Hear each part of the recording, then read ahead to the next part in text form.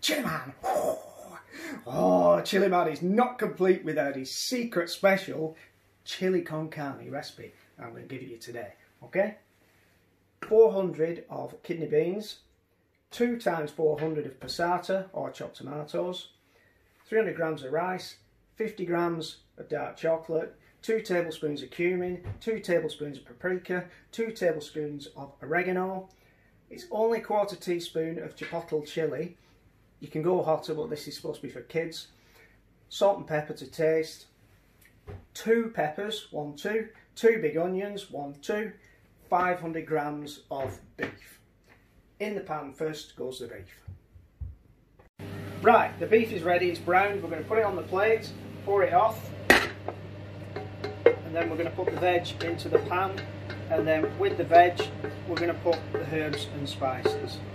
That's poured off, you can see there's fat already in the pan. In go the veg. Soften those off, release those natural sugars. And then we'll put some herbs in. Right, okay, the veg is softened, we're going to put in the herbs. So, and spices, we've got paprika, cumin, oregano or oregano, chilies, stand back, don't breathe it in, salt to taste, and a bit of pepper.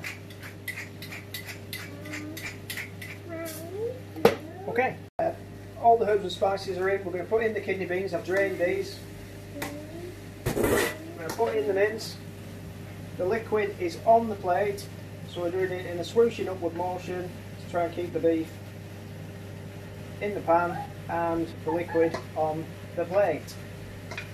And then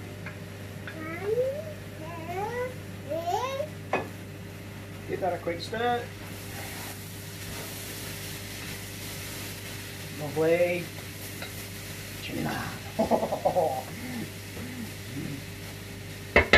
needs a bit of liquid. We've got two for passata.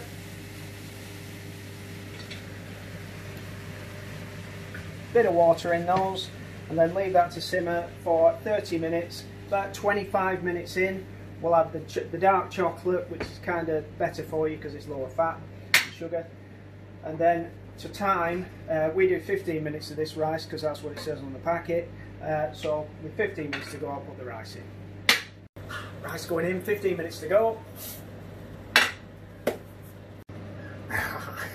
Can't eat it. Right, chocolate, five minutes to go. Stick the chocolate in, let that melt, mix it in. Ha! Right, I'm just going to finish it off with a little bit of sour cream and chive on the top of the chilli.